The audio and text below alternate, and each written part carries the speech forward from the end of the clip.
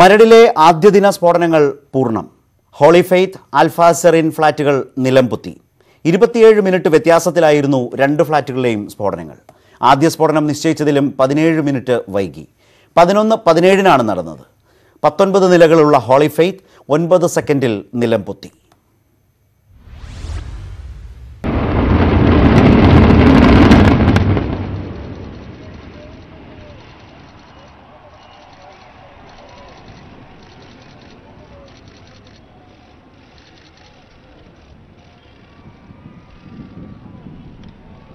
ഏഴ് മിനിറ്റിനു ശേഷം പതിനൊന്ന് നാൽപ്പത്തിനാലിനായിരുന്നു രണ്ടാം സ്ഫോടനം ആൽഫ സെറിന്റെ ഇരട്ട ടവറുകളാണ് നിലം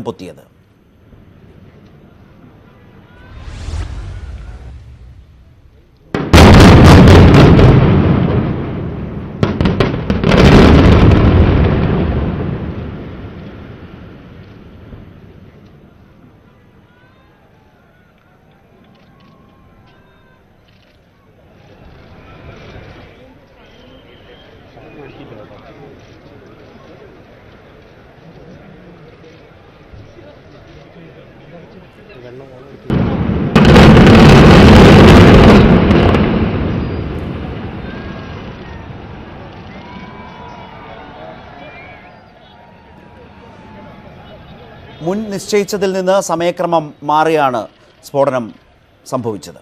ഹോളി ഫെയ്ത്തിൽ പത്ത് മുപ്പതിന് നിശ്ചയിച്ചിരുന്ന ആദ്യ സൈറൺ മുഴങ്ങിയത് പത്ത് മുപ്പത്തിരണ്ടിനാണ്. പത്ത് അൻപത്തിയഞ്ചിന് മുഴങ്ങേണ്ട രണ്ടാം സൈറൺ പതിനൊന്ന് പത്തിനാണ് മുഴങ്ങിയത്. അവസാനത്തെയും മൂന്നാമത്തേതുമായ സൈറൺ മുഴങ്ങിയത് പതിനൊന്ന് പതിനേഴിനാണ്.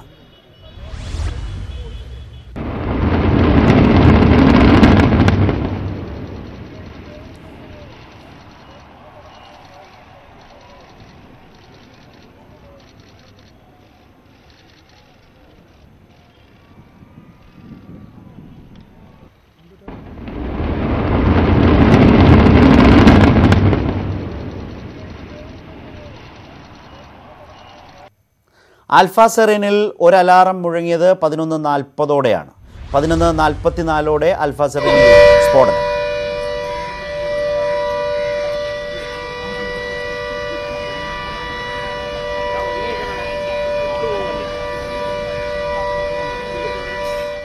സെക്കൻഡുകളുടെ വ്യത്യാസത്തിൽ അൽഫാസറിന്റെ രണ്ട് ടവറുകളും നിലം പതിച്ചു.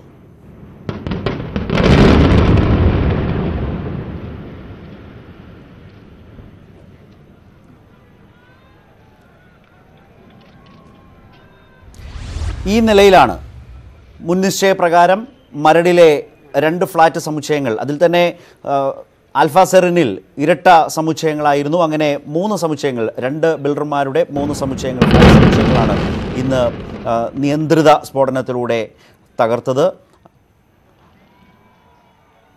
ഹോളി ഫെയ്ത്തിന് സമീപത്തെ വീടുകളിൽ വിള്ളൽ എന്ന വിവരം കൂടിയാണ് പിന്നാലെ ഇപ്പോൾ വന്നുകൊണ്ടിരിക്കുന്നത്. ചില വീടുകൾക്ക് മുകളിലേക്ക് മരം വീണു.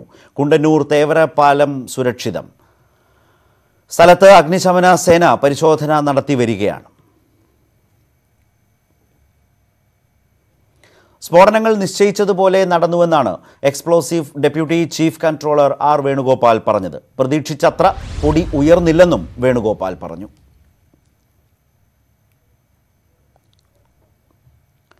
രണ്ട് സ്ഫോടനവും വിജയകരമെന്ന് ഉത്കർഷ് മേത്ത. നാളത്തെ സ്ഫോടനം നിശ്ചയിച്ച സമയത്ത് തന്നെ നടക്കും. അൽഫാസെറിന്റെ സമീപത്തെ വീടുകൾ സുരക്ഷിതമെന്ന് നഗരസഭാ അധ്യക്ഷ ടി എച്ച് നദീറ. സ്ഥലം സന്ദർശിച്ച ശേഷമായിരുന്നു നഗരസഭാ ചെയർപേഴ്സന്റെ പ്രതികരണം.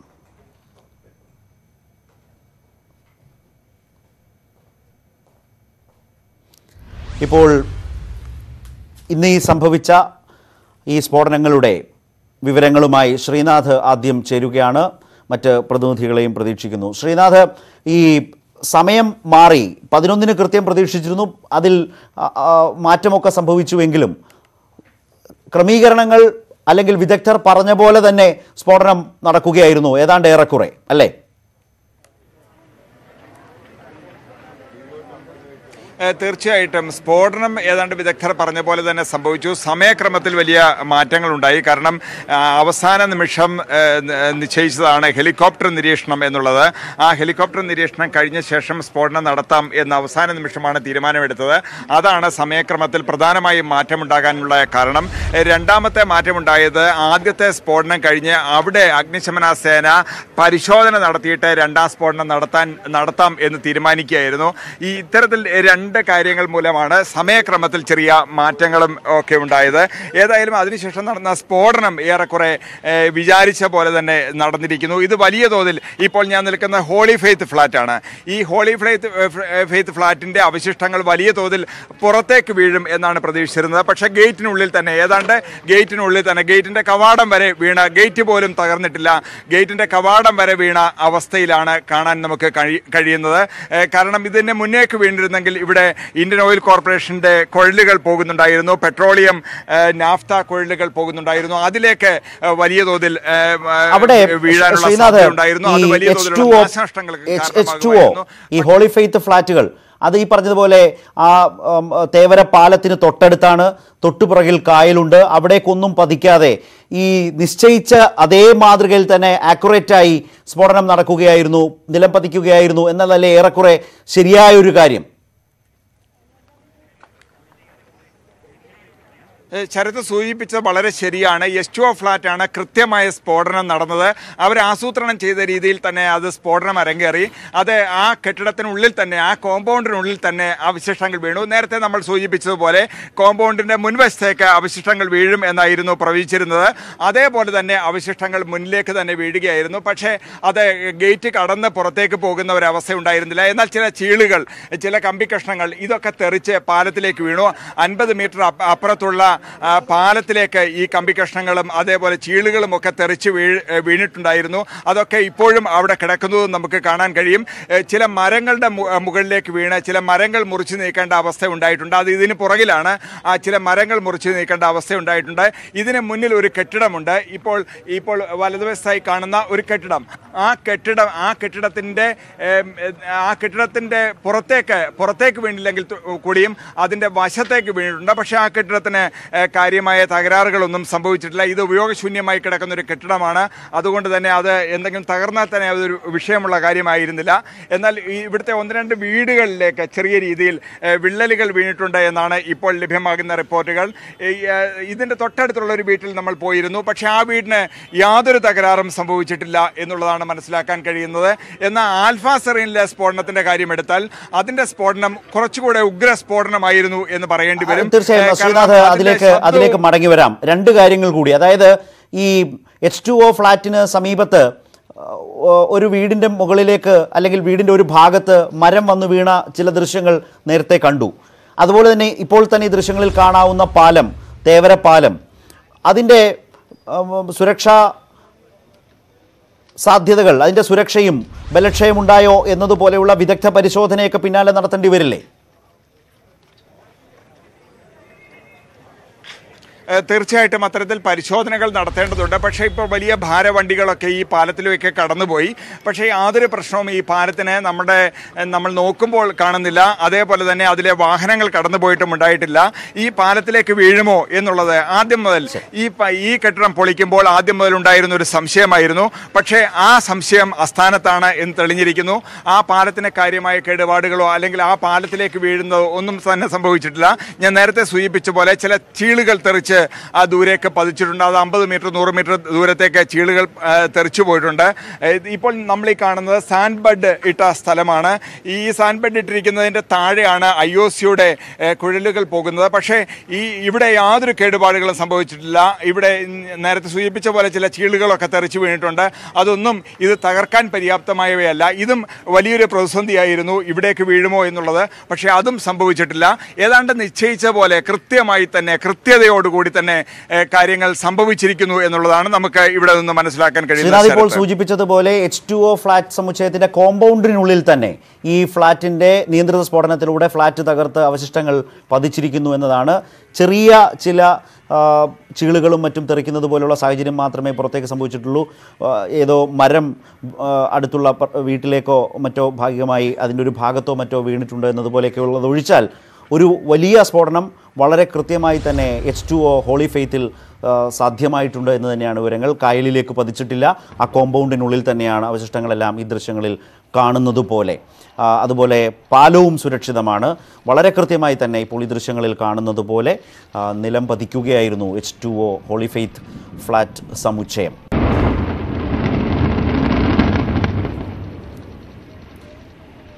ഇനി ചേരുന്നത് ഡാനി പോളാണ്. ആൽഫ സെറീൻ ഫ്ലാറ്റുകൾക്ക് സമീപമാണ് ഉള്ളത്. ഡാനി അവിടെ പക്ഷേ എച്ച് ടു ഒയിൽ നിന്ന് വ്യത്യസ്തമായി ഈ ചീളുകൾ തെറിച്ചിട്ടുണ്ട്. അല്ലെങ്കിൽ അതുമായി ബന്ധപ്പെട്ട് തൊട്ടടുത്ത വീടുകളുടെ അവസ്ഥ എന്താണ് എന്നതുപോലെയുള്ള കാര്യങ്ങളൊക്കെ ഉണ്ടല്ലോ.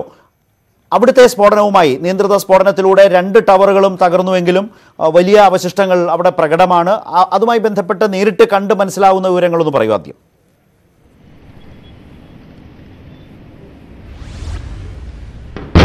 ശരത്ത് ഇതിൽ ഏറ്റവും സങ്കീർണമായിരുന്ന ഒരു സ്ഫോടനം എന്ന് പറയുന്നത് ആൽഫ ടവറിലേത് തന്നെയായിരുന്നു. ആൽഫ ടവറിലെ രണ്ട് ടവറുകളാണ് ഉണ്ടായിരുന്നത്. നമുക്ക് അതിന് ഇപ്പുറത്തുള്ള ഒരു ബഹുനില കെട്ടിടത്തിന് മുകളിലാണ് നമ്മൾ വളരെ പക്ഷേ വളരെ ക്ലോസ് ആയിട്ട് തന്നെ ഇത് കാണാൻ കഴിയുന്ന ഒരു രീതിയിലാണ് ക്രമീകരിച്ചിരിക്കുന്നത്. ഇപ്പോൾ അവിടേക്ക് ആളുകൾ വന്നതായിട്ട് നമുക്ക് കാണാൻ കഴിയും. പരിശോധന സംഘം ഉൾപ്പെടെ അതോടൊപ്പം തന്നെ മറ്റ് ചിലർക്കെങ്കിലും അവിടേക്ക് എത്തിപ്പെടാൻ കഴിഞ്ഞിട്ടുണ്ടെന്ന് തന്നെ കരുതുന്നു. ഇതിൽ സ്ഫോടനവുമായി ബന്ധപ്പെട്ട് പറയാനുള്ളത് വലിയ വിസ്തൃതിയുള്ള ഒന്നാം ടവറും അതോടൊപ്പം തന്നെ താരതമ്യേന ചെറിയ രീതിയിലുള്ള രണ്ടാം ടവറുമാണ് ഉണ്ടായിരുന്നത്.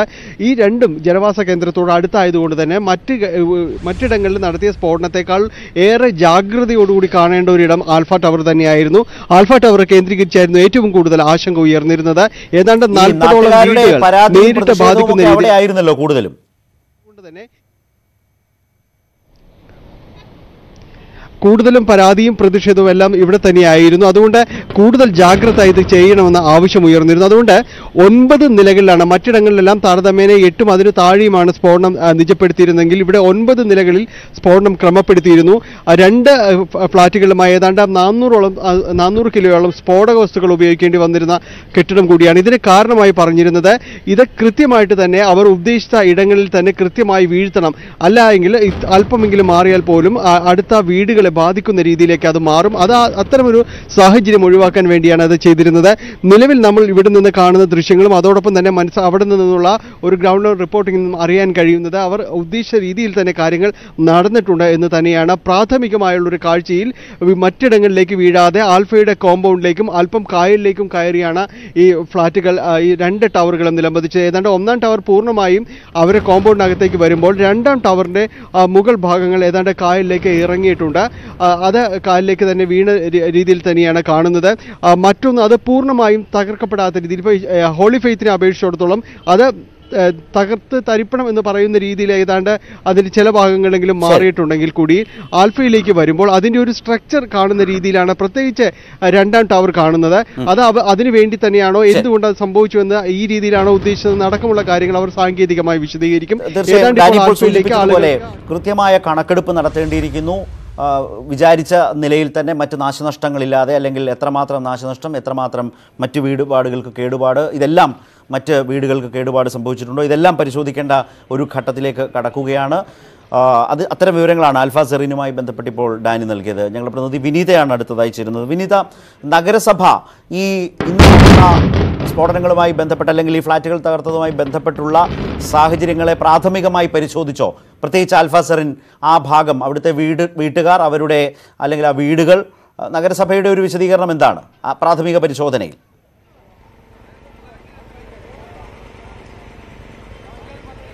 ആദ്യഘട്ടത്തിൽ തന്നെ നഗരസഭയുടെ ഒരു പ്രതികരണം വന്നത് ആശങ്കകൾ അതിനൊരു വിരാമമായി എന്ന് തന്നെയാണ് അവർ പറഞ്ഞിട്ടുള്ളത്. വലിയ രീതിയിലുള്ള ഒരു ആശങ്കയാണ് ഉണ്ടായിരുന്നത്. ആൽഫാസരൻ അടക്കമുള്ള ആ ഒരു സ്ഫോടനം നടക്കുമ്പോൾ തൊട്ടടുത്തുള്ള വീടുകൾ അത് എങ്ങനെ ബാധിക്കുമെന്നടക്കം വലിയ രീതിയിലുള്ള ഒരു ആശങ്ക നഗരസഭയിലെ ഓരോ കൗൺസിലർമാരും പങ്കുവച്ചിരുന്നു. എന്നാൽ അത്തരം ആശങ്കകളൊക്കെ തന്നെ ഒരു വിരാമമായിരിക്കുന്നു എന്ന് തന്നെയാണ് പറയുന്നത്. ഉദ്യോഗസ്ഥരും അതോടൊപ്പം തന്നെ വിദഗ്ധരും ഒക്കെ പറയുന്നത് എങ്ങനെയാണോ ഫ്ളാറ്റുകൾ പൊളിക്കാൻ തീരുമാനിച്ചിരുന്നത്. അത് അതേപോലെ തന്നെ കൈകാര്യം ചെയ്യാൻ സാധിച്ചു. വിജയകരമായി തന്നെ അത് പൂർത്തിയാക്കാൻ കഴിഞ്ഞു എന്ന് തന്നെയാണ് അവർ പറഞ്ഞിട്ടുള്ളത്. ശബ്ദവും അതോടൊപ്പം തന്നെ അത്തരത്തിലുള്ള എല്ലാ- എല്ലാം നിയന്ത്രിച്ചുകൊണ്ട് പൊടിയുടെ ശല്യമാണെങ്കിലും ഇതൊക്കെ നിയന്ത്രിച്ചു കൊണ്ടുള്ള ഒരു സ്ഫോടനം തന്നെയാണ് ആദ്യം മുതലേ തങ്ങൾ ലക്ഷ്യം വെച്ചിരുന്നത്. അത്തരത്തിൽ ഒരു വിജയകരമായി അത് നിറവേറ്റാൻ കഴിഞ്ഞു എന്ന് തന്നെയാണ് പറയുന്നത്. എഡിഫസ് കമ്പനിയുടെ പ്രതിനിധിയായ എഡിഫസിന്റെ ഉത്കർഷ് മേത്ത അദ്ദേഹവും ഇത്തരത്തിലൊരു ആശ്വാസം തന്നെയാണ് അദ്ദേഹവും പറഞ്ഞത്. താൻ എങ്ങനെയാണ് അതായത് ഹോളി മുപ്പത്തിയാറ് ഡിഗ്രി ചരിച്ച് വീഴ്ത്തുക എന്നൊരു ലക്ഷ്യമാണ് ഉണ്ടായിരുന്നത്. ആ സമീപ പ്രദേശത്തേക്ക് കായലുണ്ട്. ഈ കായലിലേക്ക് വീഴ്ത്താതിരിക്കുക. പാലത്തിന് കേടുപാടുകൾ സംഭവിക്കാതിരിക്കുക. ഇങ്ങനെയുള്ള ചില മുൻകരുതലുകൾ. ഇത്തരം സാഹചര്യങ്ങളായിരുന്നു ഒരു പക്ഷേ ഹോളി ഫെയ്ത്തിനെ സംബന്ധിച്ച ഒരു പ്രതിസന്ധി എന്ന് പറയേണ്ടി വന്നിരുന്നത്. എന്നാൽ അത്തരം പ്രതിസന്ധികളൊക്കെ തന്നെ തരണം ചെയ്തുകൊണ്ട് എങ്ങനെയാണോ പ്ലാൻ ചെയ്തിരുന്നത് അതേപോലെ തന്നെ അതിനൊരു ഫലം കണ്ടു എന്ന് തന്നെയാണ് വിനിത തീർച്ചയായും ഇപ്പോൾ സൂചിപ്പിച്ചതുപോലെ പൊതുവിൽ തൃപ്തികരമായ വിലയിരുത്തലാണ് എല്ലാ സംവിധാനങ്ങളിൽ നിന്നും വന്നിട്ടുള്ളത്. എല്ലാം ആസൂത്രണം ചെയ്ത നിലയിൽ തന്നെ പൂർത്തിയാക്കാനായി എന്ന പൊതു വിലയിരുത്തൽ വന്നിട്ടുണ്ട്. അത് ഏതെങ്കിലും തരത്തിലുള്ള വലിയ കേടുപാടുകൾക്ക് ഇടവരുത്തിയിട്ടില്ല. വിചാരിച്ച ദിശയിൽ തന്നെ ഈ സ്ഫോടനം അതുവഴി ഈ ഫ്ലാറ്റ് സമുച്ചയങ്ങൾ തകർന്നു വീഴുന്നതിനും ഒക്കെ ഇടയാക്കിയിട്ടുണ്ട്. അൽഫാസറിനിലാണ് അല്പം കായലിലേക്ക് പതിച്ചിട്ടുള്ളത്. അത് ആ നിലയിൽ തന്നെ ഉദ്ദേശിച്ച് ചെയ്തതാണ് എന്നും അവർ പറയുന്നുണ്ട്. കാരണം ഒരു പത്ത് നാൽപ്പത് നാൽപ്പതോളം വീടുകളാണ് അതിന് ചുറ്റും ഉള്ളത്. അതുകൊണ്ട് തന്നെ ആ വീടുകളെ സംരക്ഷിച്ചുകൊണ്ടാണ് കായലിലേക്ക് കായൽ ഭാഗത്തേക്ക് ചരിച്ച് സ്ഫോടനത്തിലൂടെ ആ ഫ്ളാറ്റുകൾ മറിഞ്ഞ് വീഴുന്നതിനും തകർക്കുന്നതിനും ഇടയാക്കിയിട്ടുള്ളത്. അതേസമയം എച്ച് ടു ഒയിൽ കായലിലേക്കും പതിക്കരുത് എന്ന നിലയിൽ തന്നെയായിരുന്നു അതിന്റെ ദിശ ആസൂത്രണം ചെയ്തിരുന്നത്. അതനുസരിച്ച് തന്നെ സംഭവിക്കുകയും ചെയ്തു. ഇപ്പോൾ ആൽഫ സെറിൻ ഫ്ലാറ്റുകൾക്ക് മുന്നിൽ നിന്നും ഞാനിപ്പോൾ ഈ സൂചിപ്പിച്ച സാഹചര്യങ്ങളിൽ കുറെ കൂടി വിവരങ്ങൾ നൽകാൻ ഞങ്ങളുടെ പ്രതിനിധി സിജോ ചേരുന്നുണ്ട്. സിജോ ഇപ്പോൾ അവിടെയാണല്ലോ ഉള്ളത്. ആ ഇരട്ട ടവർ തകർന്ന പ്രദേശത്താണല്ലോ സ്ഥലത്താണല്ലോ ഉള്ളത്.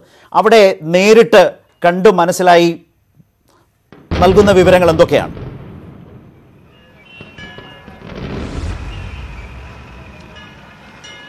ശരത്ത് ആശക്കപ്പെ ആശക്കപ്പെടേണ്ട ഒരു സാഹചര്യവും അല്ലെങ്കിൽ നമ്മൾ അങ്ങനെ ഒരു ഭയാനകമായ ഒരു സാഹചര്യം ഉണ്ടായിട്ടില്ല എന്നുള്ളതാണ് ഏറ്റവും ആശ്വാസമായിട്ടുള്ള കാര്യം. നമ്മൾ രാവിലെ കണ്ട അൽഫ ഫ്ലാറ്റാണ് ഈ കിടക്കുന്നത്. ഏകദേശം രണ്ട് നില ഇട കെട്ടിടത്തിന്റെ അത്രയും മാത്രം ദൂരമായി അല്ലെങ്കിൽ അത്രയും ഉയരത്തിൽ മാത്രം ഈ കഷ്ണങ്ങൾ വേസ്റ്റുകൾ ചുരുങ്ങിക്കിടക്കുന്നു സമീപ പ്രദേശത്ത് ആൽഫയുടെ സമീപ പ്രദേശത്ത് ഏകദേശം അഞ്ചും ആറ് മീറ്ററിന് താഴെയായി ചില കെട്ടിടങ്ങൾ ഉണ്ടായിരുന്നു. ആ കെട്ടിടങ്ങൾ കാര്യമായി പരിക്കുകളോ ഒന്നും ഉണ്ടായിട്ടില്ല. നമുക്ക് ഈ പ്ലാസ്റ്റിക് ഷീറ്റുകൾ കാണാം. ഈ വേസ്റ്റുകൾ അല്ലെങ്കിൽ ഈ കഷ്ണങ്ങൾ പുറത്തേക്ക് പോകാതിരിക്കാൻ വേണ്ടി തടഞ്ഞു നിർത്തിയിരുന്നതാണ്. അതിലേക്ക് കുറച്ച് കഷ്ണങ്ങൾ വന്ന് വീണ് അവിടെ പുറത്തേക്ക് കിടക്കുന്നു. അതുപോലെ പ്ലാസ്റ്റിക് മറിച്ചിരിക്കുന്ന പ്ലാസ്റ്റിക് അതിലേക്ക് ഒന്നാമതായി ഈ കെട്ടിടാവശിഷ്ടങ്ങൾ. അത് ഈ അൽഫാസറിൻ കോമ്പൗണ്ടിൽ തന്നെയാണോ ഏതാണ്ട് ഭൂരിഭാഗവും ഉള്ളത്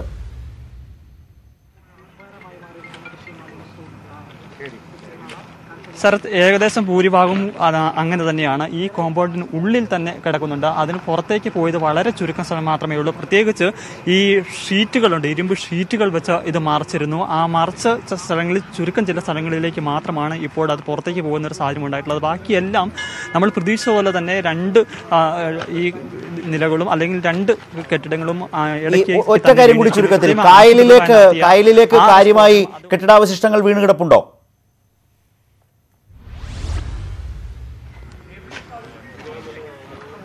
കായലിലേക്ക് ഒരു ഭാഗം മാത്രമാണ് പതിച്ചിരിക്കുന്നത്.